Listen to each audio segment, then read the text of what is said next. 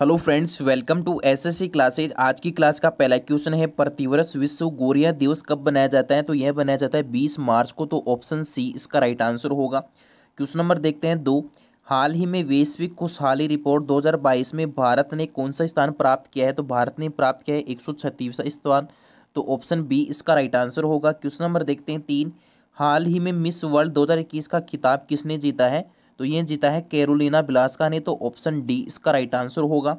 Question number देखते हैं four हाल ही में किस देश में Mahatma Gandhi green triangle का अनावरण किया गया है? तो ये किया गया है मेडागास्कर में तो ऑप्शन ए इसका राइट आंसर होगा। क्वेश्चन नंबर देखते हैं फाइव हाल ही में 250 वनडे विकेट लेने वाली विश्व की पहली महिला खिलाड़ी कौन बन गई है?